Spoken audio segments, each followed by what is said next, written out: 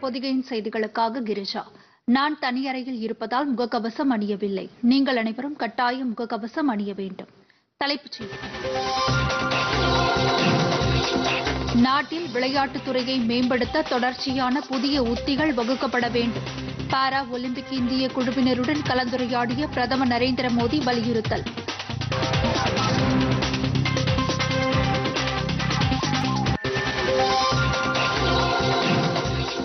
ஆப்கானிஸ்தானில் இருந்து இந்திய தூதரக அதிகாரிகள் உட்பட நூற்று இருபது பேர் தாயகம் திரும்பினர். மீட்பு பணிகளுக்காக காபூல் விமான நிலையம் மீண்டும் திறப்பு.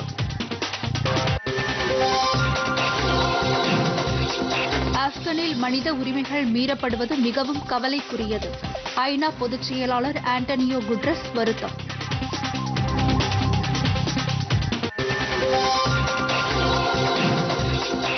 அனைத்து பிரிவினரும் அர்ச்சகராகும் திட்டத்தை திசை திருப்பக்கூடாது.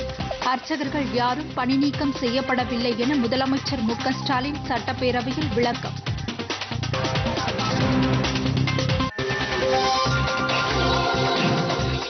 தமிழக சட்டப்பேரவை பட்ஜெட் கூட்டத்தொடர் செப்டம்பர் பதிமூன்றாம் தேதியுடன் நிறைவு. பேரவைத் தலைவர் அப்பாவு அறிவிப்பு.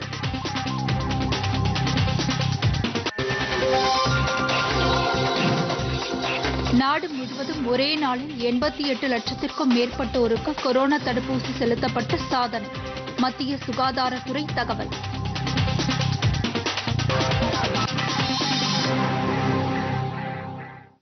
விரிவான செய்திகள்.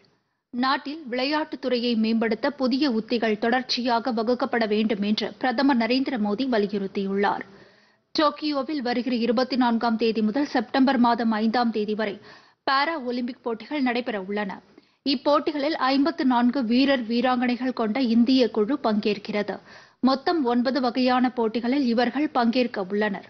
இந்நிலையில் பாரா ஒலிம்பிக்கில் பங்கேற்கும் இந்திய குழுவினரை உற்சாகப்படுத்தும் வகையில் பிரதமர் நரேந்திர மோடி அவர்களுடன் காணொலி மூலம் இன்று கலந்துரையாடினார். நிகழ்ச்சியில் பேசிய பிரதமர் போட்டியில் பங்கேற்கும் வீரர் வீராங்கனைகளுக்கு உடல் வலிமையுடன் மன வலிமையும் மிகவும் அவசியம் என்றும் வெற்றி தோல்வி பற்றி கவலைப்படாமல் வீரர்கள் தங்களது முழு திறமையை வெளிப்படுத்த வேண்டும் என்றும் வலியுறுத்தினார் स्पोर्ट साइकोलॉजी उस पर वर्कशॉप और सेमिनार्स इसकी व्यवस्था लगातार करते रहे हैं हमारे ज्यादातर खिलाड़ी छोटे शहरों, कस्बों और गाँवों से आते हैं। इसलिए एक्सपोजर की कमी भी उनके लिए एक बड़ी चुनौती होती है। नई जगह, नए लोग, अंतर्राष्ट्रीय परिस्थितियाँ, कई बार ये चुनौतियाँ ही हमारा मनोबल कम कर देती हैं। इसलिए ये तय किया गया कि इस दिशा में भी हमारे खिलाड़ियों को ट्रेनिंग मिलनी चाहिए। தமிழகத்தின் சேலத்தை சேர்ந்த பாரா ஒலிம்பிக் தடகள வீரரும் கேல் ரத்னா விருது பெற்றவருமான மாரியப்பனுடனும் பிரதமர் கலந்துரையாடினார் this time uh, mera acha training ka, training kar raha sir uh, sir uh, sports authority of india sir acha support mera government acha support hai sir and uh, tamil nadu government and paralympic committee of india acha support sir this time and mera gold medal and uh, record kar raha sir Mariyappan आप तो gold winner है और अब आप मेरे जैसे cinema जगत के एक्टर भी बाद में डायरेक्टर और प्रोड्यूसर बन जाते हैं वैसे आप भी प्लेयर भी हैं और कोच भी बन गए हो। आप देश के नौजवानों को खास करके एथलीट के संबंध में जिनकी रुचि है इनको क्या संदेश देना चाहते हो? क्या मैसेज देंगे आप? हाँ देखिए आप भी ये मरियप्पन से कुछ सीखिए नई नई खेल सीखिए आप भी दुनिया में पहुँच जाओगे। और सरोजा माँ है तो सरोजा अम्मा ज़रूर आप दोनों भाइयों को बहुत आगे बढ़ाएगी। मरियपन जी आप आपका परिवार पूरे देश के लिए प्रेरणा है। मुझे बताया गया कि आप पर एक बायोपिक भी बन रही है। मुंबई की फिल्मी दुनिया के लोगों का बड़ा मन और तमिल में, तमिलनाडु में भी सबका मन आपकी तरफ़ ध्यान केंद्रित हुआ है। आपने अपनी मेहनत से कहाँ से कहाँ तक की यात्रा पूरी की है? आप अपनी हिम्मत और मेहनत को जारी रखिए। आप पूरे देश का आप पर भरोसा है। जमकर खेलिए और पूरी ताकत लगा लीजिए। मेरी आपको बहुत शुभकामनाएँ हैं और जैसे हर बार मैं आप लोगों को मिलता हूँ, इस बार भी जब आप विजयी होकर के आएंगे मैं जरूर आप लोगों के साथ बैठूंगा और आपके अनुभव जानने की कोशिश करूंगा இதேபோல் பாரா ஒலிம்பிக்கில் பங்கேற்கும் இதர வீரர் மற்றும் வீராங்கனைகளுடன் பிரதமர் கலந்துரையாடி அவர்களை உற்சாகப்படுத்தினார் இதனிடையே சேலம் மாரியப்பனின் தாயார் மற்றும் குடும்பத்தினரிடமும் பிரதமர் நரேந்திர மோடி காணொலி மூலம் உரையாடினார் மாரியப்பன் மீண்டும் இந்தியாவுக்கு தங்கப்பதக்கம் வென்று நாடு திரும்ப வேண்டும் என்று தாம் இறைவனை பிரார்த்திப்பதாக பிரதமர் அப்போது குறிப்பிட்டார் மாரியப்பனின் உணவு பழக்கம் என்ன என்பது குறித்தும் அவரது தாயாரிடம் பிரதமர் ஆர்வத்துடன் கேட்டறிந்தார்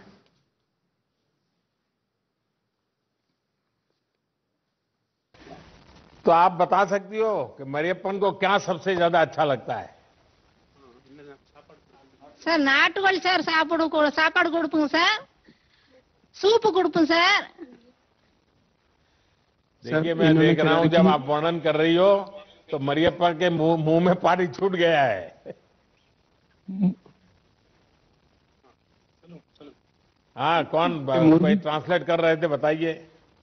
सर इन्होंने कह रहा कि देसी मुर्गी अच्छा लगा उनका उनका सूप भी पसंद करके पिएगा सर। अच्छा आपके भाई कुमार भी मेरे सामने है வணக்கம் சார் हाँ वणकम कुमार तो तुम भाई के लिए क्या कहना चाहोगे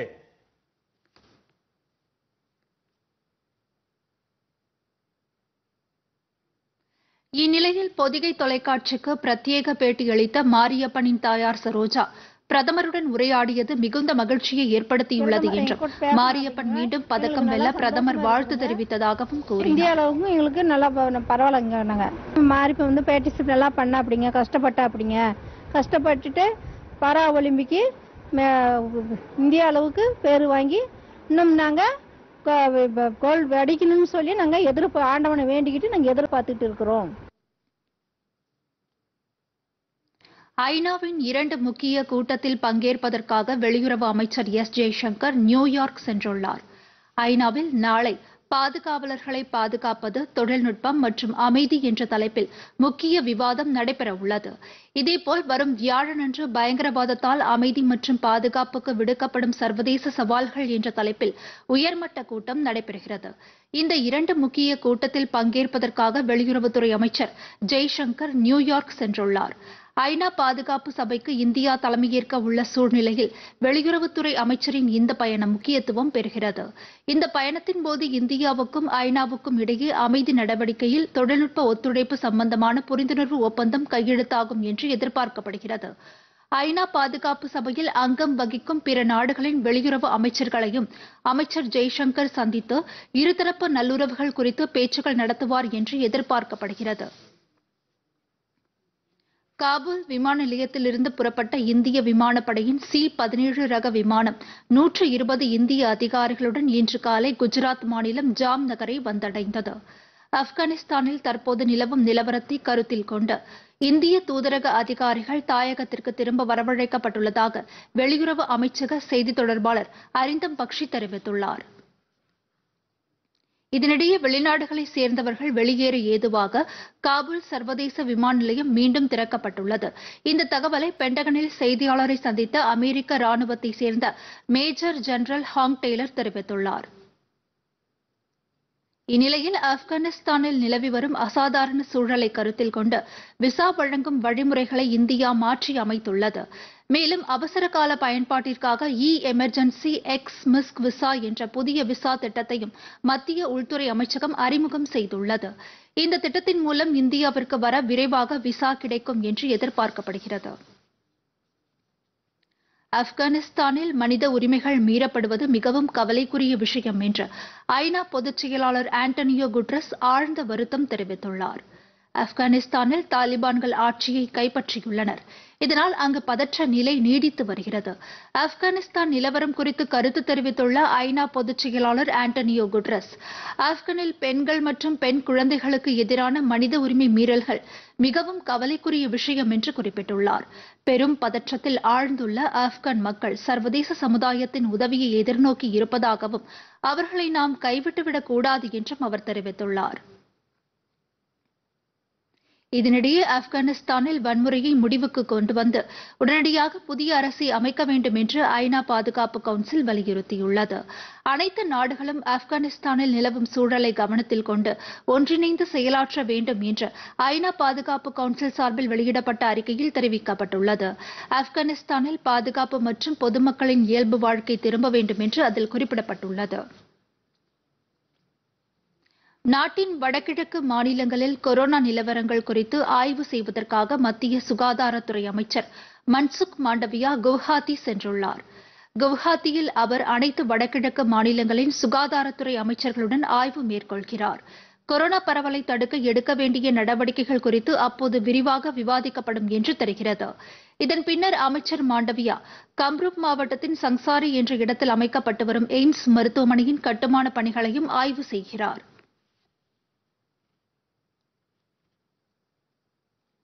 இதனிடையே கொரோனாவால் அதிகம் பாதிக்கப்பட்டுள்ள கேரள மாநிலத்திற்கு அவசர கால நிதியுதவியாக சுமார் இருநூற்று அறுபத்தி ஏழு கோடி ரூபாய் ஒதுக்கப்பட்டதற்கு அம்மாநில முதலமைச்சர் பினராயி விஜயன் நன்றி தெரிவித்துள்ளார். நேற்று திருவனந்தபுரம் சென்ற மத்திய சுகாதாரத்துறை அமைச்சர் மன்சுக் மாண்டவியா அம்மாநில முதலமைச்சர் பினராயி விஜயனை சந்தித்த பின்னர் இந்த அவசர நிதியுதவியை அறிவித்தது குறிப்பிடத்தக்கது. சிறிய இடைவேளைக்கு பிறகு செய்திகள் தொடரும். பொதிகை செய்தி பிரிவு வழங்கும் மக்கள் மேடை. இன்றைய மக்கள் மேடை நிகழ்ச்சியில் பிளஸ் டூவுக்கு பிறகு என்ற தலைப்பில் விவாதிக்க உள்ளோம். கொரோனா சூழலில் பிளஸ் டூ முடித்த மாணவர்கள் என்ன படிக்கலாம் எங்கு படிக்கலாம் வேலை வாய்ப்பிற்கான வாய்ப்புகள் குறித்து பல்வேறு தகவல்களை தர உள்ளார் கல்வியாளர் டி. நெடுஞ்செழியன் அவர்கள்.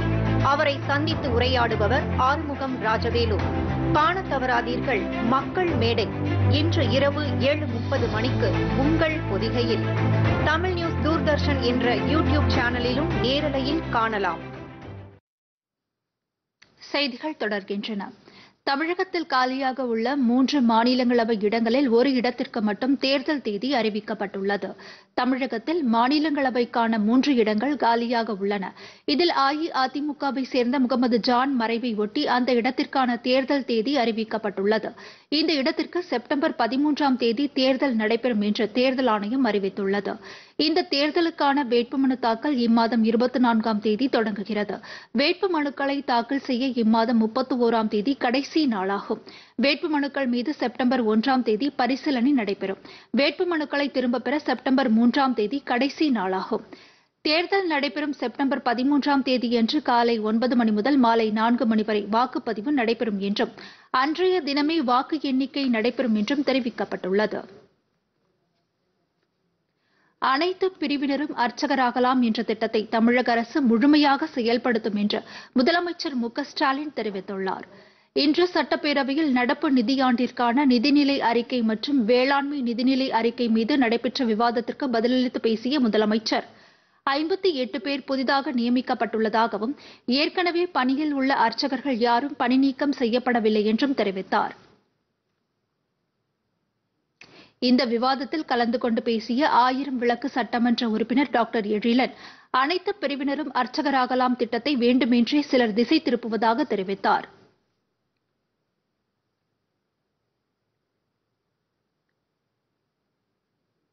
அவை விவாதத்தில் பங்கேற்று பேசிய இந்து சமய அறநிலையத்துறை அமைச்சர் சேகர் பாபு. புதிய அர்ச்சகர்கள் நியமிக்கப்படுவதால் அறுபது அல்லது எழுபத்தி ஐந்து வயது நிரம்பிய பழைய அர்ச்சகர்கள் கூட பணி நீக்கம் செய்யப்படவில்லை என்றும் ஆகம விதிப்படி அர்ச்சகராக பயிற்சி பெற்றவர்கள் மட்டுமே பணியமர்த்தப்படுவதாகவும் விளக்கம் அளித்தார்.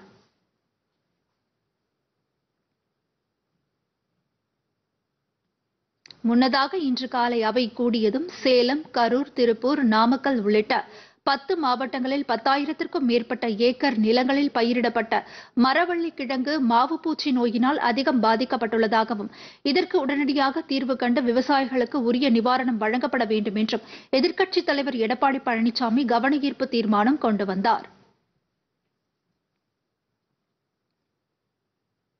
இதற்கு பதிலளித்து பேசிய மாநில வேளாண் துறை அமைச்சர் எம் ஆர் கே பன்னீர்செல்வம் மாவுப்பூச்சு நோயை தடுக்க தமிழ்நாடு வேளாண் பல்கலைக்கழக விஞ்ஞானிகள் மூலம் உரிய நடவடிக்கை மேற்கொள்ளப்பட்டு வருவதாக தெரிவித்தார்.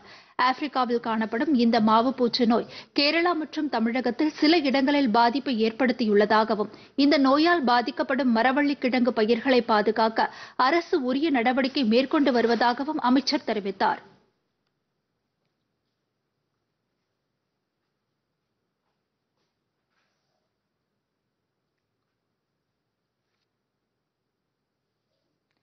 பின்னர் நிதி மசோதா மீது நடைபெற்ற பொது விவாதத்தில் கலந்து கொண்டு பேசிய திருப்பரங்குன்றம் சட்டமன்ற உறுப்பினர் ராஜன் செல்லப்பா கொரோனாவின் காரணமாக பனிரெண்டாம் வகுப்பு மாணவர்களின் தேர்ச்சி சதவீதம் அதிகரித்துள்ளதால் தேர்ச்சி பெற்ற மாணவர்களுக்கு கல்லூரிகளில் போதிய இடம் உள்ளதா என்று கேள்வி எழுப்பினார்.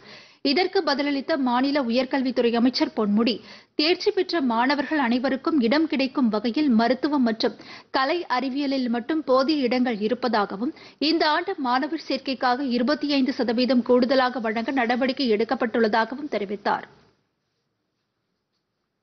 சட்டமன்ற நடவடிக்கைகள் முழுமையாக கணினிமயமாக்கப்பட்டாலும் கருவூலகம் நூலகம் ஆளுநர் அலுவலகம் மற்றும் சட்டப்பேரவை உறுப்பினர்கள் பயன்பெறும் வகையில் நிதிநிலை அறிக்கை தொடர்பாக நானூறு புத்தகங்கள் அச்சிடப்பட்டுள்ளதாக நிதியமைச்சர் பழனிவேல் தியாகராஜன் சட்டப்பேரவையில் தெரிவித்தார்.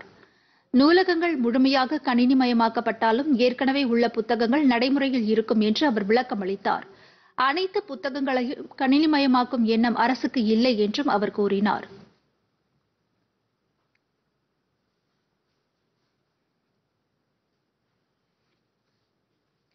இதனிடையே பெட்ரோலை போல டீசலின் விலையை குறைக்க அரசு நடவடிக்கை எடுக்காதது ஏன் என்று அஇஅதிமுக உறுப்பினர் ராஜன் செல்லப்பா கேள்வி எழுப்பினார்.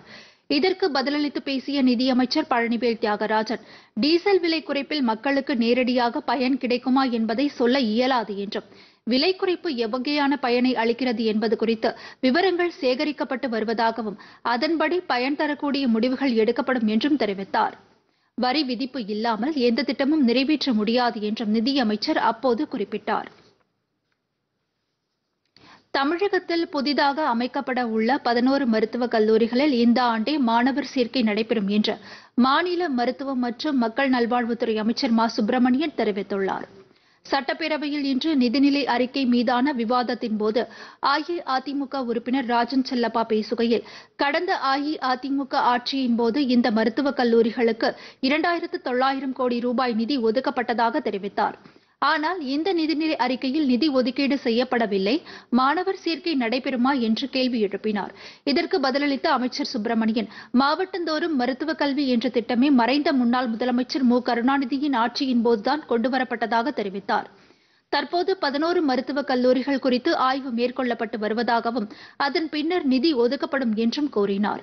மேலும் வரும் ஆண்டிலேயே மாணவர் சேர்க்கை நடைபெறும் என்றும் அமைச்சர் தெரிவித்தார். தமிழக சட்டப்பேரவை பட்ஜெட் கூட்டத்தொடர் செப்டம்பர் பதிமூன்றாம் தேதியுடன் நிறைவு பெறும் என்று தெரிவிக்கப்பட்டுள்ளது.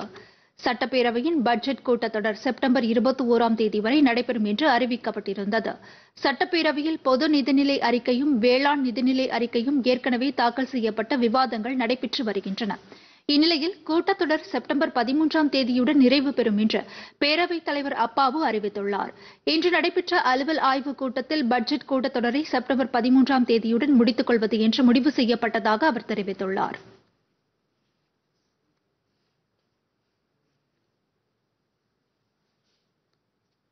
கங்கை நதியின் பெருமைகளை விளக்கும் பயணத்தொடர் நிகழ்ச்சியான ராக் ராக் கங்காவின் இரண்டாம் பாகத்தை மத்திய ஜல்சக்தித்துறை அமைச்சர் கஜேந்திர சிங் ஷெகாவத் மற்றும் மத்திய தகவல் மற்றும் ஒலிபரப்புத்துறை அமைச்சர் திரு அனுராக் தாக்கூர் ஆகியோர் நேற்று தொடங்கி வைத்தனர். இரண்டாயிரத்தி பத்தொன்பதாம் ஆண்டு தூர்தர்ஷனில் ஒளிபரப்பான இந்த தொடரின் முதல் பாகத்தை நடிகர் ராஜீவ் கந்தேல்வால் தொகுத்து வழங்கினார். அந்நிகழ்ச்சிக்கு கிடைத்த பெரும் வரவேற்பை தொடர்ந்து அதன் இரண்டாம் பாகம் மீண்டும் ஒளிபரப்பாக உள்ளது.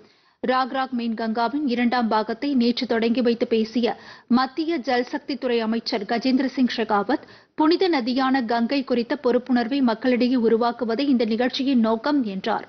இம்முயற்சிக்கு நல்ல பலன்கள் கிடைத்திருப்பது குறித்து அவர் மகிழ்ச்சி தெரிவித்தார். கங்கை நதியை தூய்மைப்படுத்துவதில் கடந்த சில வருடங்களில் அடைந்துள்ள சாதனை பெருமையளிப்பதாக ஷெகாவத் கூறினார். நமாமி கங்கை திட்டத்தில் மக்கள் பங்கு பெறுவதை ஊக்கப்படுத்தியதற்காக ஜல்சக்தி அமைச்சகத்தை பாராட்டிய மத்திய தகவல் மற்றும் ஒலிபரப்புத்துறை அமைச்சர் அனுராக் தாகூர். இதன் மூலம் கங்கை பாதுகாப்பு மக்கள் இயக்கமாக மாறி அடுத்த கட்டத்திற்கு செல்லும் என்றார். இரண்டாயிரத்தி இருபத்தி ஒன்று ஆகஸ்ட் இருபத்தி ஓராம் தேதி முதல் ஒவ்வொரு சனி மற்றும் ஞாயிற்றுக்கிழமைகளில் டிடி நேஷனல் அலைவரிசையில் இந்நிகழ்ச்சி இரவு எட்டு முப்பது மணிக்கு ஒளிபரப்பாகும். இதர பிற்படுத்தப்பட்டோர் பட்டியலில் எந்தெந்த பிரிவினர் இடம்பெற வேண்டும் என அரசியலமைப்பு சட்டத்தை திருத்தி சமூக நீதியை நிலைநாட்டியவர் பிரதமர் நரேந்திர மோடி என்று மத்திய தகவல் ஒலிபரப்புத்துறை கால்நடை மற்றும் மீன்வளத்துறை அமைச்சர் இணையமைச்சர் எல் முருகன் தெரிவித்துள்ளார். பிஜேபியின் மக்கள் ஆசி யாத்திரை நிகழ்ச்சியின் இரண்டாம் நாளான இன்று ஈரோடு மாவட்டம் அரச்சலூர் அருகேயுள்ள நல்லமங்கா பாளையத்தில் சுதந்திர போராட்ட தியாகி பொல்லானின் உருவப்படத்திற்கு மலர் தூவி மரியாதை செலுத்தினார். அவரது வரலாற்றை குறிக்கும் புத்தகத்தையும் அமைச்சர் வெளியிட்டார். அரச்சலூர் கைகாட்டி சந்திப்பில் நடைபெற்ற வரவேற்பு நிகழ்ச்சியில் பேசிய எல் முருகன் சுதந்திரத்திற்கு பின்பு தாழ்த்தப்பட்ட சமுதாயத்தை சேர்ந்த பனிரண்டு பேரை மத்திய அமைச்சர்களாக்கி அழகு பார்த்தவர் பிரதமர் மோடி என்று கூறினார். இந்த நிகழ்ச்சியில் பேசிய மாநில பிஜேபி தலைவர் அண்ணாமலை பிஜேபி தான் உண்மையான சமூக நீதியை வலியுறுத்தி வருவதாக தெரிவித்தார். இதைத் தொடர்ந்து ஈரோடு செல்லும் வழியில் பொதுமக்களை சந்தித்த எல் முருகன் அவர்களிடமிருந்து மனுக்களை பெற்றுக் கொண்டார். நியாய விலைக் கடை ஒன்றில் மத்திய அரசின் அந்தியோதயா அன்ன யோஜனா திட்டத்தின் கீழ் வழங்கப்படும் அரிசியின் தரம் குறித்து ஆய்வு மேற்கொண்டார்.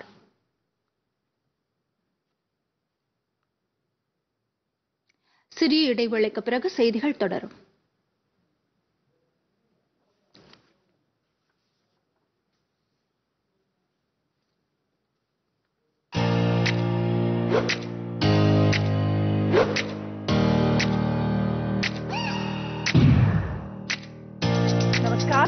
आप सभी का डीडी न्यूज के इस खास बुलेटिन एक्सप्रेस न्यूज में जहां हम आपके लिए लेकर आते हैं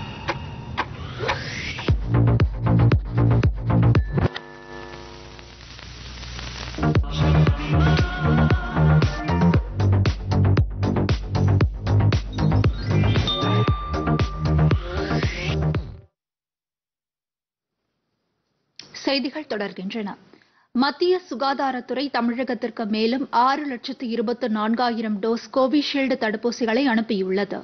மகாராஷ்டிரா மாநிலம் புனேயில் உள்ள மத்திய மருந்து கிடங்கிலிருந்து விமானம் மூலம் அனுப்பப்பட்ட ஐம்பத்தி இரண்டு பார்சல்களில் வந்த தடுப்பூசிகளை தமிழ்நாடு மக்கள் நல்வாழ்வுத்துறை அதிகாரிகள் பெற்றுக் கொண்டனர். அவற்றில் இருபத்தி இரண்டு பார்சல்களில் வந்த இரண்டு லட்சத்து அறுபத்து நான்காயிரம் டோஸ் கோவிஷீல்டு தடுப்பூசிகள் நேரடியாக தேனாம்பேட்டையில் உள்ள டிஎம்எஸ் அலுவலக வளாகத்திற்கு கொண்டு செல்லப்பட்டது. முப்பது பார்சல்கள் அடங்கிய மூன்று லட்சத்து அறுபதாயிரம் டோஸ் கோவிஷீல்டு தடுப்பூசிகள் சென்னை பெரியமேட்டில் உள்ள மத்திய மருந்து கிடங்கு அதிகாரிகளிடம் ஒப்படைக்கப்பட்டது. நாடு முழுவதும் நேற்று ஒரே நாளில் புதிதாக இருபத்து ஐந்தாயிரத்து நூற்று அறுபத்து ஆறு பேருக்கு கொரோனா தொற்று உறுதி செய்யப்பட்டுள்ளது. இது கடந்த நூற்று ஐம்பத்து நான்கு நாட்களில் மிக குறைந்த எண்ணிக்கை என்று மத்திய சுகாதார அமைச்சகம் தெரிவித்துள்ளது.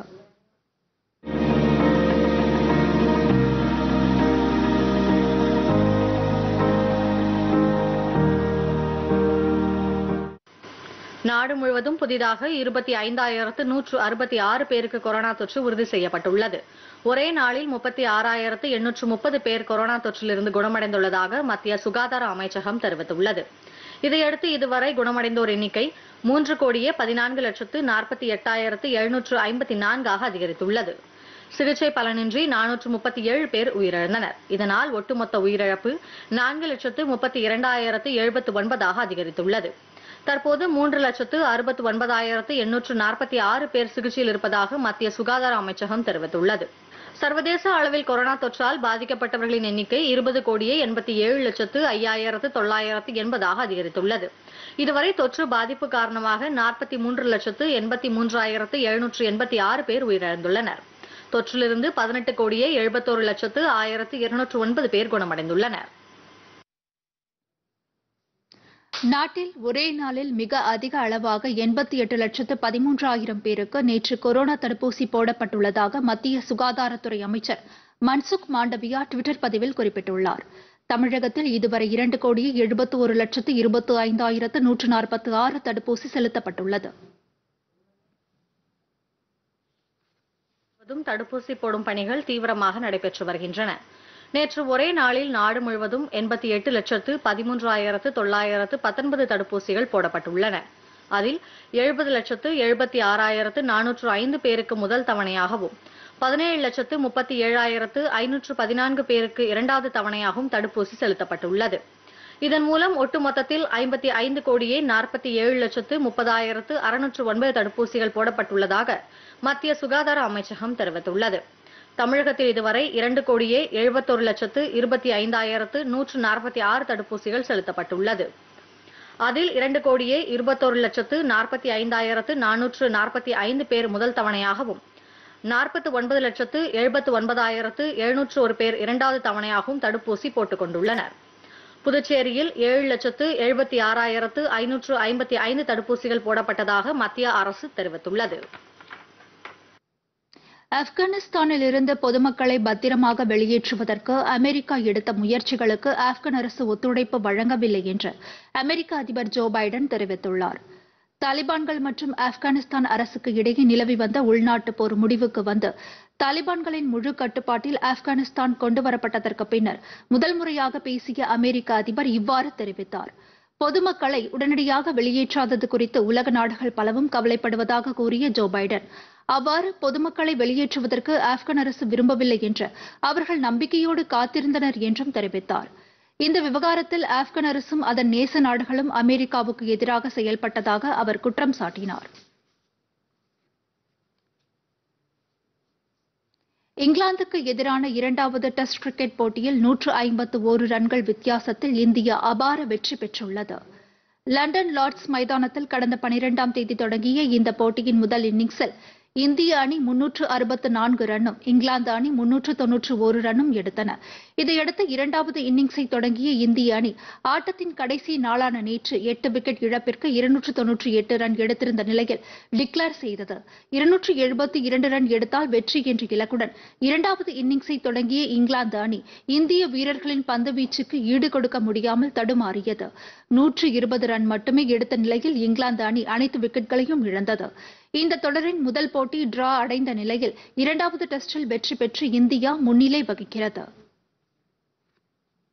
வளிமண்டல மேலடுக்கு சுழற்சி மற்றும் வெப்பச்சலனம் காரணமாக தமிழகத்தில் திருவள்ளூர் வேலூர் ராணிப்பேட்டை மாவட்டங்களில் ஓரிரு இடங்களில் இடி மின்னலுடன் கூடிய கனமழைக்கு வாய்ப்பு இருப்பதாக சென்னை வானிலை ஆய்வு மையம் தெரிவித்துள்ளது.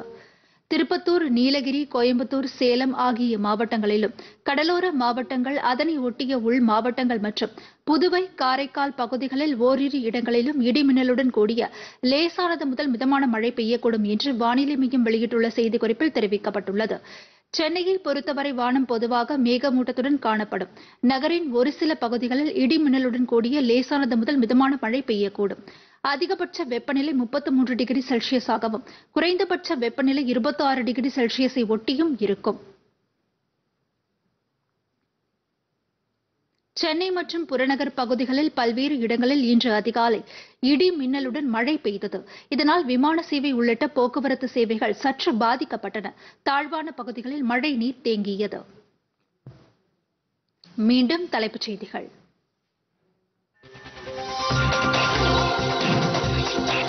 நாட்டில் விளையாட்டுத் துறையை மேம்படுத்த தொடர்ச்சியான புதிய உத்திகள் வகுக்கப்பட வேண்டும். பாரா ஒலிம்பிக் இந்திய குழுவினருடன் கலந்துரையாடிய பிரதமர் நரேந்திர மோடி வலியுறுத்தல்.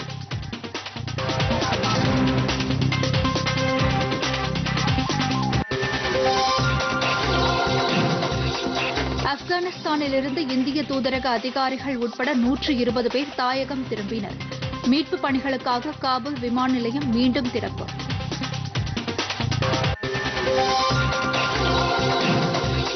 ஆப்கனில் மனித உரிமைகள் மீறப்படுவது மிகவும் கவலைக்குரியது. ஐநா பொதுச் செயலாளர் ஆண்டனியோ குட்ரஸ் வருத்தம்.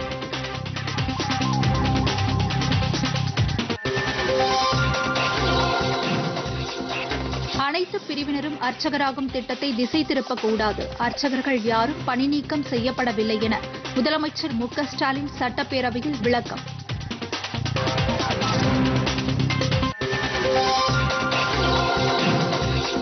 தமிழக சட்டப்பேரவை பட்ஜெட் கூட்டத்தொடர் செப்டம்பர் பதிமூன்றாம் தேதியுடன் நிறைவு. பேரவைத் தலைவர் அப்பாவு அறிவிப்பு.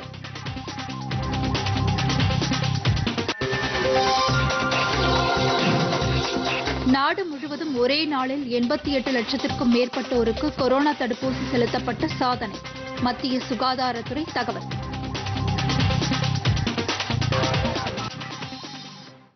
இத்துடன் செய்திகள் நிறைவடைகின்றன. மீண்டும் செய்திகள் இரவு ஏழு மணிக்கு. வணக்கம்.